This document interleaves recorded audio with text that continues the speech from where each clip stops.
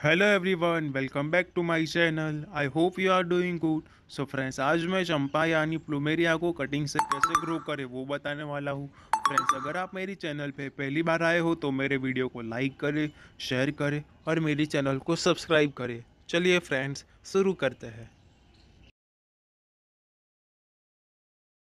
Friends मैंने ये चंपा के पौधे की कटिंग हमारे घर के नज़दीक पेड़ की कटिंग हो रही थी वहाँ से मैं लेकर आया हूँ।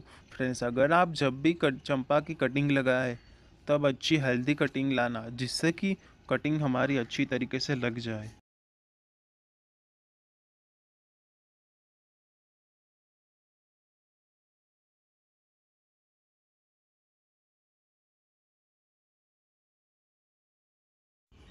मैं यहाँ पे नोड एरिया के नीचे कट लगा दूँगा। उसके लिए मैं सबसे पहले मेरे कटर को सैनिटाइज़र से सैनिटाइज कर दूँगा, जिससे कि हमारी कटिंग्स में फंगल इन्फेक्शन ना लगे।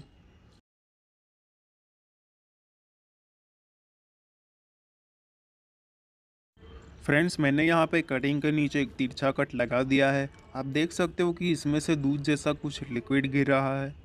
फ्रेंड्स जब भी हम चंपा की कटिंग्स लगाते हैं, तब उसे हमें तुरंत ही दूसरी कटिंग की तरह नहीं लगा सकते। क्योंकि ऐसा करेंगे तो हमारी कटिंग में फंगस लग जाएगी और हमारी कटिंग मर जाएगी।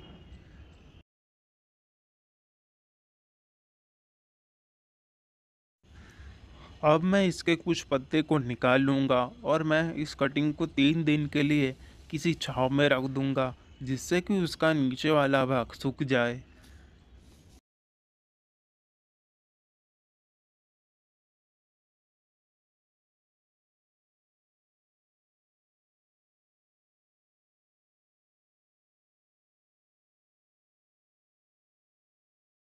फ्रेंड्स, तीन दिन बाद आप देख सकते हो कि मेरे चंपा की कटिंग अच्छी तरीके से सूख गई है।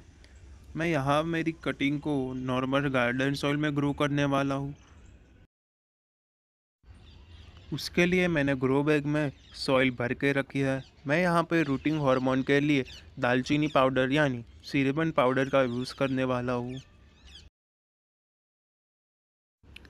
सबसे पहले मैं उसके नीचे थोड़ा पानी लगा दूँगा। बाद में नीचे दालचीनी पाउडर लगाने के बाद उसको मिट्टी में लगा लूँगा।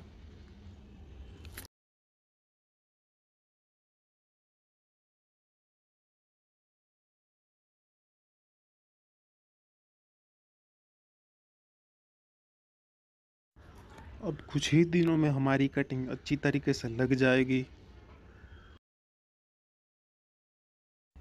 फ्रेंड्स, ये चंपा का पौधा मैंने कटिंग से लगाया था।